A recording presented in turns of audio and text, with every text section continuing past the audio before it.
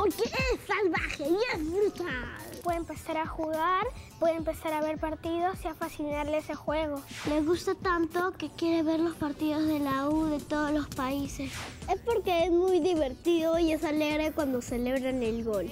¿Y por qué creen que el fútbol le gusta a tanta gente y así es como que, que la gente se apasiona? Porque un, pa- un padre familia te puede decir cómo es el fútbol, lo puede jugar contigo y luego te das cuenta de que ese deporte es bueno para ti.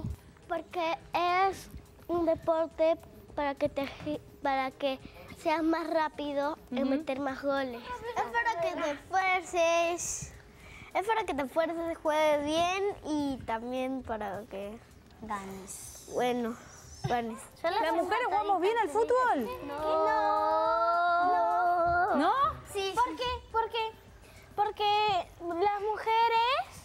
Sí. No, al, al menos lo- los fans del fútbol solo son fans de, de muchos hombres, de las mujeres no tanto.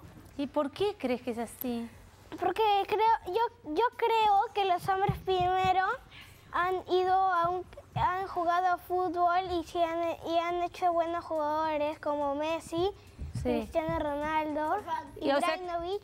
O sea que a las mujeres no- nos falta, nos falta un, un Messi, Sí, una Messi, Sí. una Cristiana Ronaldo. Nos Una- falta eso. unas guerreritas. Nos falta una guerrera.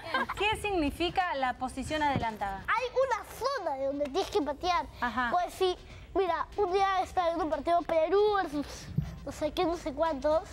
y ya, Perú, Perú, acá, imagínate acá tienes que patear. Y Sí. Perú, y acá sí largo. Ya. Y acá patea, Se me cayó el acá jugador. Y entonces... A ver, voy a tratar, voy a tratar de explicarlo con, con ustedes. pues pueden el- explicarlo el los tema dos, de la, entre de la los dos. posición adelantada. Acá, no acá. A ver, ayúdalo, Daniel, a explicar. Posición adelantada, Igna. para que un gol sea válido, imaginémonos que esta es la raya del arco, ¿no? Y que Ignacio sea el, ar- el arquero. Ya, Ignacio es el arquero, ahí Ignacio. Ya, yo soy el goleador. Y, y Luis es el que va a convertir el gol, ¿no? Ya, yo soy Luis el va a. Luis va a convertir el gol desde aquí. Patea al arco y la pelota ingresa para que el gol sea válido entre Luis y la raya y la raya del arco. Ven Sí. por aquí, Juan Diego. Entre Luis y la raya del arco tienen que haber dos jugadores del equipo contrario. Dos. Si solamente hay uno, si solamente hay uno, él está en posición adelantada al momento de recibir la pelota. Siempre-